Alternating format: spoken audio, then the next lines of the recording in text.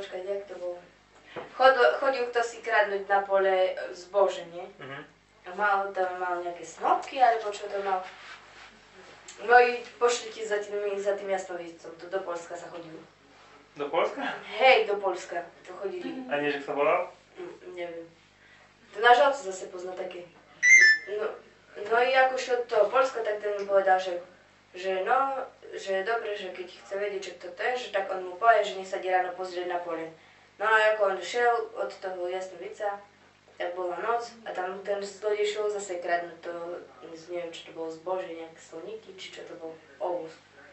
No i šiel i ten, ten čo to kradol ten zlodej, tak sa nemohol vôbec pohnúť. Stal na mieste, kým neprišiel ten majiteľ.